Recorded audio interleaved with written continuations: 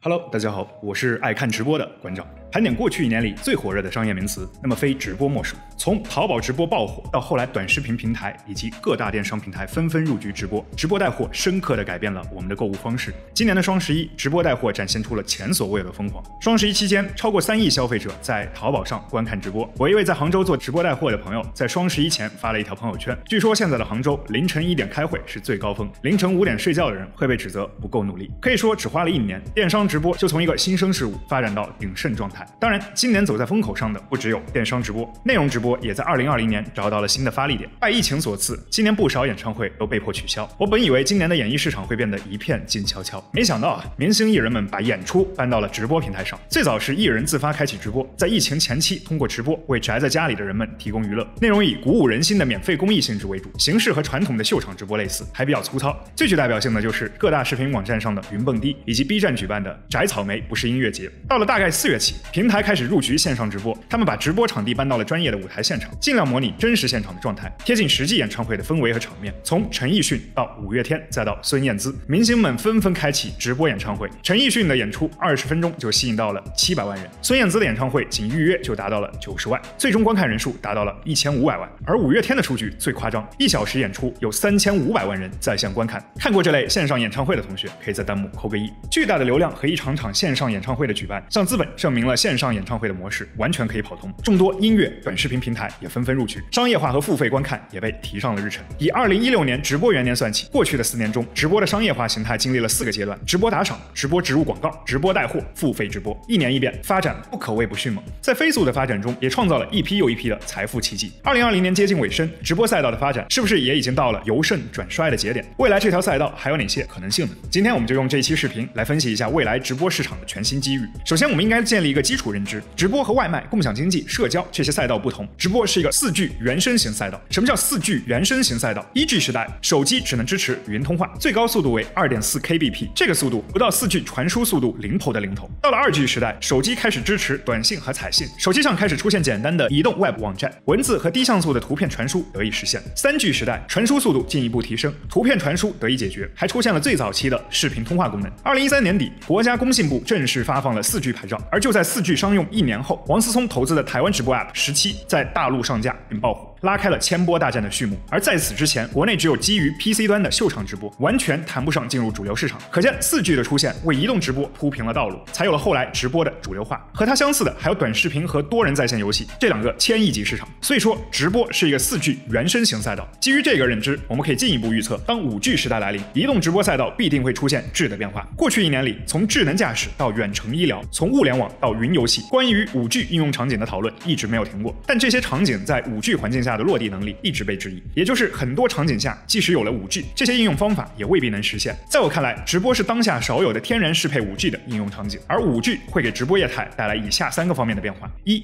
虚拟现实化；二、互动化；三、高清化。先说第一点，在二零一六年，VR 也曾经站上过创投圈的风口，成为无数人看好的下一个改变世界的机会，但最终因为内容缺失、设备体验差以及价格问题被时代所抛弃。但在未来五 G 时代下，VR 的痛点将被重新解决。过去 VR 的内容被限制在游戏和影视领域，而在未来，直播将成为 VR 内容的主流提供领域。利用一百八十度或三百六十度摄影技术，用四 K 甚至更高的画质代替视觉现实，用多层次的现场收音还原听觉上的现场感。其实 VR 直播技术上的可实现性早就已经被验证，并且逐渐成熟化。早在二零一五年，NBA 就已经试水过 VR 直播，而在国内，此前也有平台为韩国组合 BigBang 澳门演唱会进行过 VR 直播。而设备体验的问题，同样可以通过五 G 解决。过往高端 VR 设备往往需要巨大的头显、台式机和数据线，昂贵且沉重，而普通的移动头显效果非常差。但在五 G 时代，由于传输的高速率，任何显示方面的运算可以全部交由线上的服务器解决。头显可以作为纯粹的显示器，将视听效果做到极致，价格也会更加亲民。想象一下，未来在李佳琦的直播间，当他展示一根口红，我们可以通过 VR 技术，三百六十度无死角的观察产品，再理智决定要不要下单。嗯，好像也理智不了啊。在 NBA 赛场上，你可以用 VR 技术体验战，在篮筐底下看詹姆斯扣篮，这是怎样的震撼？VR 直播一定是五 G 能够给予直播赛道的第一个机会。第二点，互动化直播。提到互动化直播，就不得不提一下五 G 技术特有的四 G 无法企及的能力——低时延。经常看直播的朋友可能看过两个主播一起连麦，而常常出现的情况是，主播 A 说了一句话，主播 B 过了好几秒钟才反应过来，使得交流变得不够顺畅。这就显示出低时延的重要性。当下主流的四 G 网络延时往往在二十到四十毫秒，信息一旦经过多次传输，便会产生肉眼可见的延迟。而五 G 网络在理论上延时可以降低到一毫秒左右，哪怕经过多次传输，这样微弱的延迟都很难让用户感知到。也就是说，五 G 状态下，用户间的互动可以做到极致的平滑顺畅。目前在游戏领域，五 G 的低时延已经让游戏厂商们看到了未来全面云游戏化的可能性。而在直播的场景中，这样的互动可以衍生出无数玩法。例如，在明星 A 的演唱会上，可以随时和其他明星通过五 G 连麦，嘉宾表演不需要专程邀请，只需要双方都有五 G 通信设备即可。再例如，线上演唱会上，明星可以和任意观看者连麦互动，甚至玩各种小游戏。如果需要，线上演唱会甚至可以进行百万粉丝的大合唱。想想看，是不是很激动人心啊？第三点，那就是高清晰化。去年，工信部、国家广播电视总局、中央广播电视总台联合印发了《超高清视频产业发展行动计划》。计划中提到，明确将按照 4K 先行、兼顾 8K 的总技术路线，大力推进超高清视频产业发展和相关领域的应用。这份计划明确了一点，在不远的未来，能配得上 5G 的显示技术就是 8K。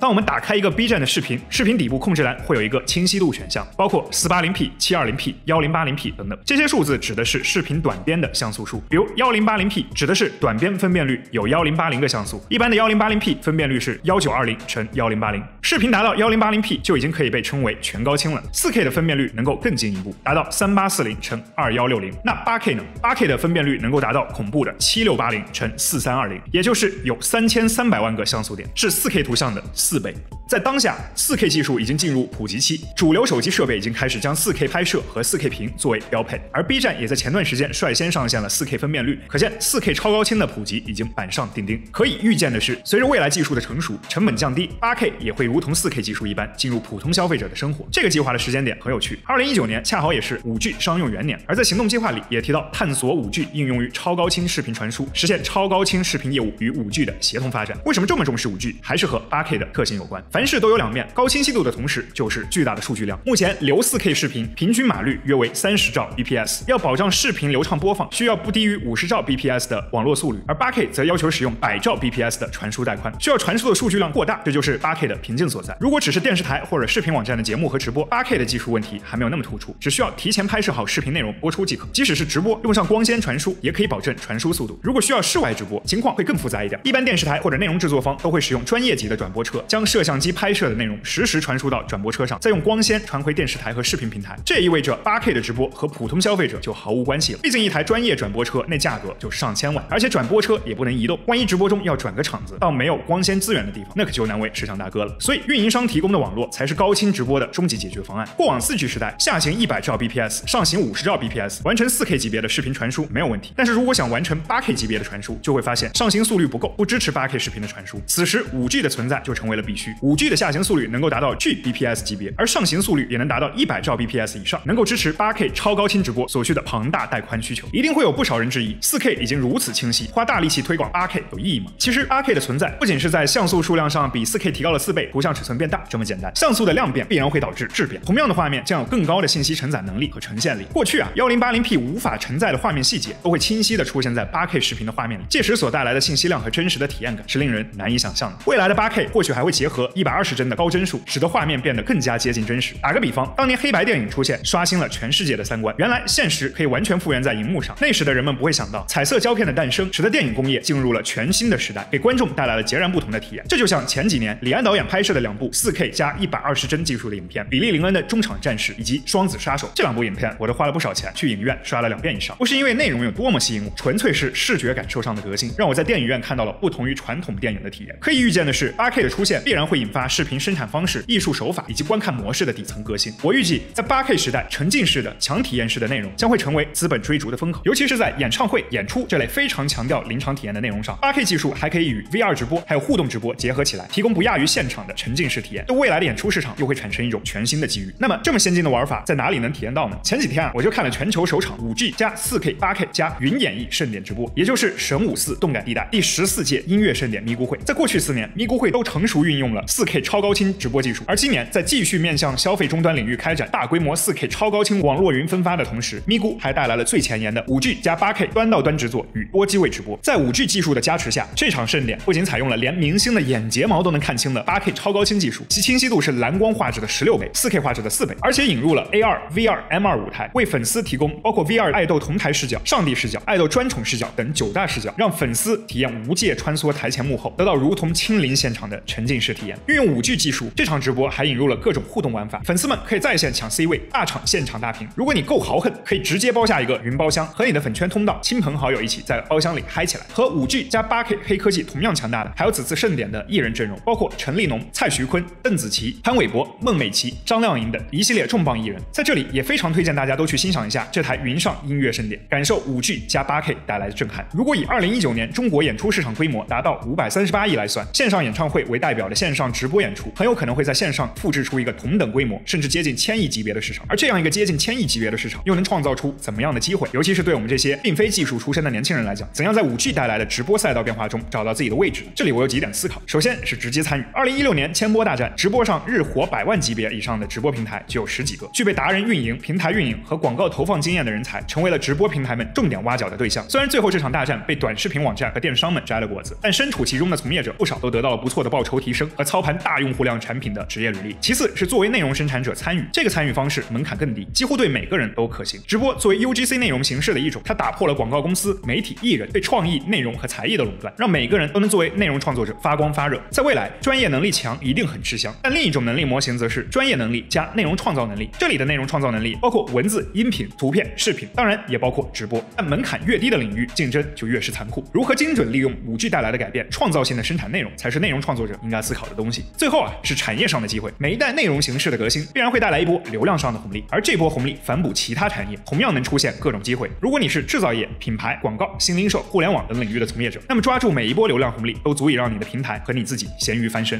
微信公众号带火了 Home Facial Pro，短视频带火了拉面说，电商直播又带火了花西子，五 G 又会带火谁呢？还是那句话，一代版本一代神啊！但无论是想办法进入行业，努力去吃到红利，或是眼看着它起朱楼宴宾客，都要明白，任何红利、任何风口和趋势都有过去的时候。大多数因风口而起飞的人，都是因为运气，而我们普通人并不总能站得那么高，看得那么远。但对于每个普通人来说，都应当具有一种底层能力，那就是将自己单一的能力模型培养成复合型的能力模型。我既有专业知识，我也懂内容制作，我既具备良好的审美，也有实现它的能力。我既有广阔的行业视角，也有丰富的行业资源。这也是为什么过去几年斜杠青年这个名词这么火。人生很长，有很多弯道可以等你超车。三十岁、四十岁都有机会实现人生翻盘，但首先你要保证自己不只会开直线。那么各位老司机，记得点赞和分享本期视频，祝你实现弯道超车。消费、商业、洞见，尽在 IC 实验室。感谢你订阅我的频道，我是馆长，我们下期再见。